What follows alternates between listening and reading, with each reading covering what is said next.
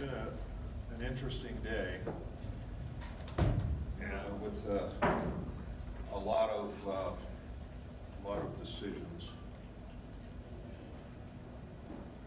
Uh, we will, uh, we are announcing, uh, today that, beginning with tomorrow's tournament games, we will be, implementing limited access.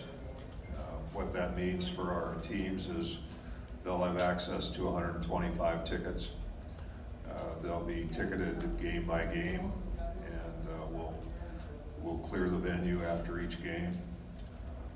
We, our athletic directors have decided that uh, um, the tickets would go to guests of student athletes and uh, staff members, and that uh, we do not plan to have pep bands, cheerleaders, or dance teams uh, as part of the group that's in, so it's, uh, uh, the attempt is to absolutely minimize the number of people that are here, but still to find a way to, to conduct the events and actually um, get the opportunity to play the games.